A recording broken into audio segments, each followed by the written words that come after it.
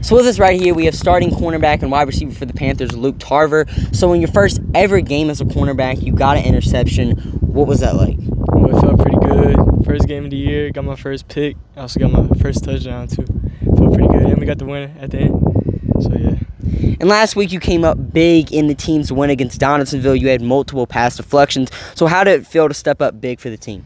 Just try to help my team out any way I can. Stop in the secondary, and yeah, yeah. Thank you for your time.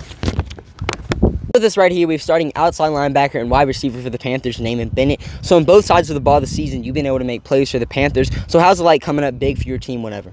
Well, first of all, I just want to help my team out on offense and defense and get a lot of tackles and touchdowns.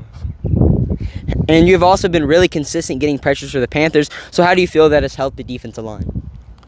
Uh, with the defensive line, they're really not that fast, so I just set the edge and let them come up behind. All right. Thank you for your time.